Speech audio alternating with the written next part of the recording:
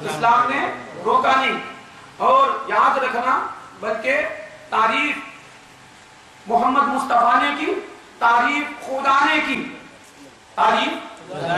کس کس کی تعریف خدا نے کی؟ میں کیا کہوں؟ کہیں کہتا ہے ان اللہ لا یستحیی ان یضرب مثلا ما بعوضۃ فما فوقها. اللہ شرماتا نہیں مچھر کی مثال پیش کرنے سے۔ کیا بولتا ہے؟ مچھر حقیر نہیں۔ سوچنے والے کے لیے اس بات فوراً معلوم ہو جائے۔ کہ کس کی مثال پیش کرنے سے مجھے شرم نہیں آتی؟ جو چیز آپ کا بیٹا ہے دیوانہ ہے، اسے لوگوں کے سامنے لانے سے آپ شرمائیں گے نا؟ شرمائیں کیوں شرمائیں گے؟ وہ حقیر ہے، ذلیل ہے دیوانہ ہے۔ نہیں؟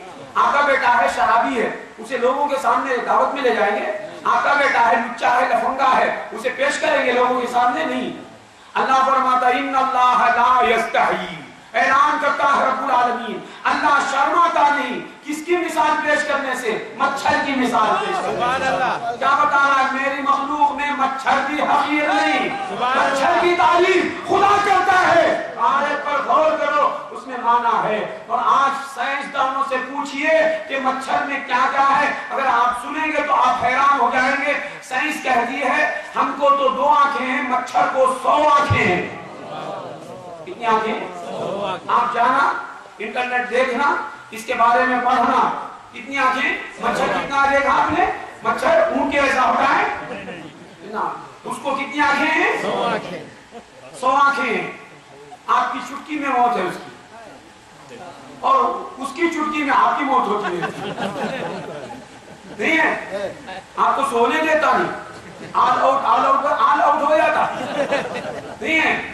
تو یہ مچھر اتنا چھوٹا مچھر۔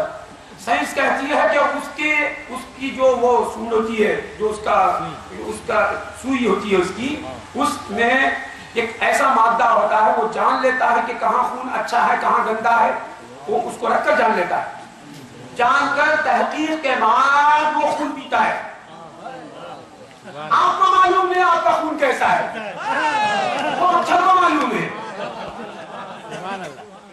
اس لیے خدا فرماتا ہے، ان اللہ لا یستحیی ان یضرب مثلا ما.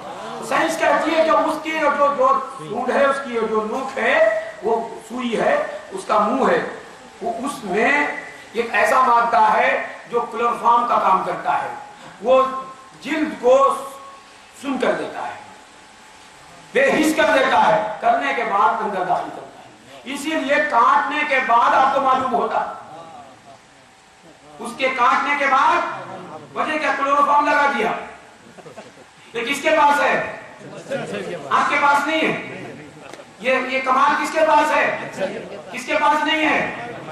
خدا فرماتا ان اللہ لا یستحی یضرب مثلا ما بعوضہ اللہ شرماتا نہیں اس بات سے کہ وہ مچھر کی مثال پیش کرے. وہ تو میری مخلوق ہے، میرا آرٹ ہے، وہ آرٹ اللہ کا، اس کا آرٹسٹ اللہ ہے سبحان اللہ رب العالمین، پاک ہے اللہ جو عالمین کا رب ہے۔ بات سمجھ میں تو یہ تو مچھر کی تعریف ہے، کس کی؟ مچھر تو آپ کیا بولیں گے کہ ان کی تعریف نہیں کرنا، ان کی تعریف نہیں کرنا؟ یاد رکھنا، حقیقی تعریف اللہ کے سوائے کسی کی نہیں کرنا۔ اور اضافی تعریف تو سب کی ہے۔ نہیں ہے؟ آپ عالم صاحب ہیں تو آپ کی تعریف ہے، آپ حافظ صاحب ہیں تو آپ کی تعریف ہے، آپ خالی صاحب ہیں تو آپ آپ کی تعریف ہے۔ آپ کی تعریف ہے، نہیں ہے؟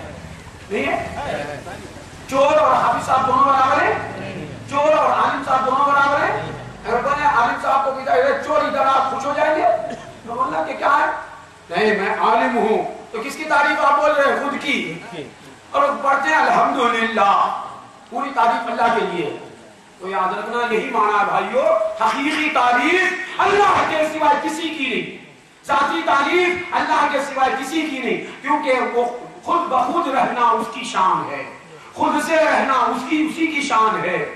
اپنے آپ سے رہنا اسی کی شان ہے۔ اور ہر شان اس کی اس کی ذاتی ہے۔ اس لیے تعریف کی ذاتی ہے اور دوسرے کا دوسرا جو تعریف کے لائق ہوتا ہے، وہ خدا کے بنائے سے ہوتا ہے۔ کیونکہ وہ خود پیدا ہوتا خدا کے پیدا کرنے سے۔ اس کے اس کی ذات، اس کے صفات، اس کے افعال، اس کے آثار، اس کے کمالات، اس کا ہنر، اس کی خوبیاں سب اللہ کے بنانے سے ہے۔ اس اعتبار سے اس کی تعریف اضافی ہے۔ اور اضافی تعریف اضافی تعریف والے کی تعریف میں بنانے والے کی تعریف ہے۔ سبحان اللہ۔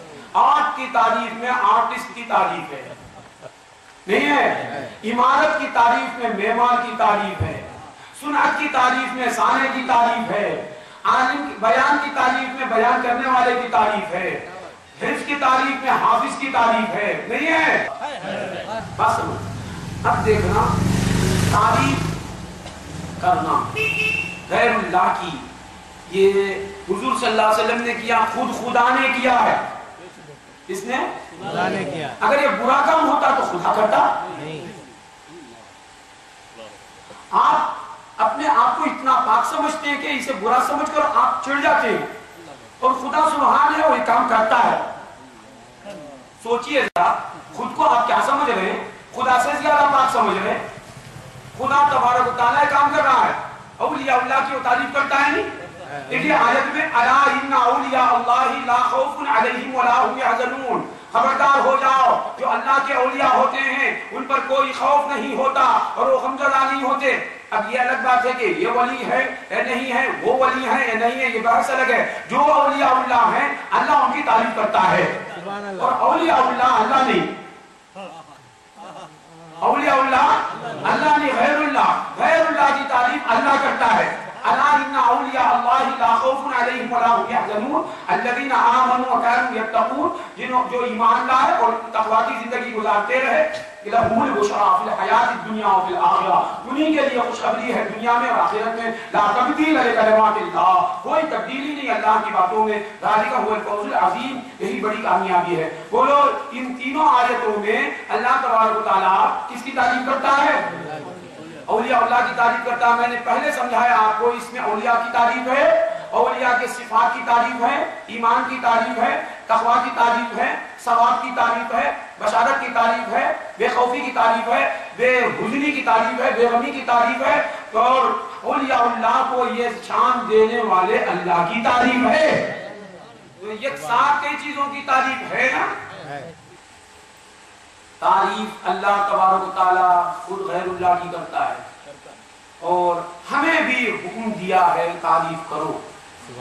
جیسا کہ اللہ فرماتا ہے، ما آتاکم الرسول فخذوه وما نهاکم عنه فانتهوا۔ رسول جو دے وہ لے لو۔ رسول جو دے لے لو۔ رسول جس سے روکے رک جاؤ۔ اب دیکھو، سنن ابی داود میں انس بن مالک سے صحیح سند کے ساتھ حدیث مروی ہے۔ سنن ابی داود میں انس بن مالک سے بسند صحیح حدیث مروی ہے کہ مہاجرین کرام حضور کی بارگاہ میں آتے ہیں۔ مہاجر سمجھتے ہیں آپ؟ وہ لوگ جو مکہ چھوڑ کر مدینہ کو آگئے وہ مہاجر ہیں۔ مہاجرین کرام حضور کے پاس آتے ہیں اور عرض کرتے ہیں، یا رسول اللہ، ہم ایسی قوم کے پاس آئے ہیں یعنی انصار کے پاس۔ یہ ایسی قوم ہے کہ ہم پر ایسا احسان کرتے ہیں لوگ کہ وہ کاروبار میں کاروبار میں ہمیں اس طرح شریک کرتے ہیں کہ محنت ہم سے لیتے نہیں، مال ہمیں دیتے ہیں۔ اس طرح ہمیں پارٹنرشپ ہم ان سے کرتے ہیں۔ دھندے میں ہمیں پارٹنر کیسا بناتے ہیں؟ کام لیتے نہیں ہم سے، مال دیتے ہم کو کوئی کام دیتے نہیں، ہمیں حصہ دیتے غریبوں کو جس طرح دیا جاتا اس طرح نہیں حصے دار بنا کر حصہ دیتے، اس طرح دیتے۔ تو یہ عجیب لوگ ہیں، ہم کو ایسا لگتا ہے اللہ کے رسول کہ ہمارا پورا ثواب انہی لوگوں کو مل جائے گا۔ یہ سنن نبی داؤد کی روایت ہے، محدثین نے اسے صحیح کہا ہے۔ حدیث سنا رہا ہوں میں۔ یہ سن کر سرکار دو عالم صلی اللہ علیہ وسلم فرماتے ہیں، پورا ثواب وہ لے کر وہ لے جائیں گے نہیں۔ لا، ایسا نہیں ہوگا۔ کب تک ما دعوتم اللہ لہم واثنیتم علیہ جب تک تم لوگ ان کے لیے دعا کرتے رہو گے اور ان کی تعریف کرتے رہو گے سواب تمہیں بھی ملے گا انہیں بھی ملے گا۔ سبحان اللہ۔ ثواب تمہیں بھی ملے گا؟ تم خاموش بیٹھ کر کھاؤ گے سواب انہیں بھی ملے گا؟ تو تم کو کیوں سواب مل رہا ہے؟ دعا اور تعریف کی وجہ سے۔ دعا کی وجہ سے کس کی تعریف؟ غیر اللہ کی اہل اللہ کی، اللہ کے بندوں کی تعریف کی وجہ سے۔ جو آپ کو پیسوں میں، پیسوں کا احسان کریں، ان کی تعریف کرے تو ثواب ہے۔ خواجہ معین الدین ہیں۔ دین دے کر ہم پر احسان کرتے ہیں ایمان سے ہم پر احسان کرتے ہیں اسلام سے ہم پر احسان کرتے ہیں۔ بولے معین الدین نے ہمیں کیا دیا؟ تمہیں کیا دیا؟ اگر کوئی پوچھے معین الدین خاجہ غریب نواز نے تمہیں کیا نوازا؟ تو بولنا کہ بھائی مجھے گمراہ ہونے نہیں دیا۔ سبحان اللہ۔ مجھے گمراہ ہونے نہیں دیا۔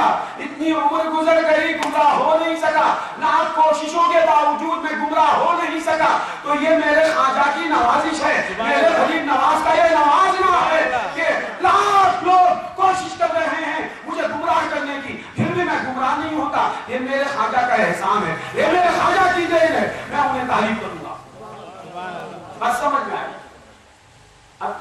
سے معلوم ہوا غیر اللہ کی تعریف کرے تو ثواب ہے۔ مگر غیر اللہ کی سے مراد ہر غیر اللہ نہیں ہے غیر اللہ۔ ہاں۔ سب کی نہیں۔ کیونکہ بعض جگہ تعریف سے روکا گیا۔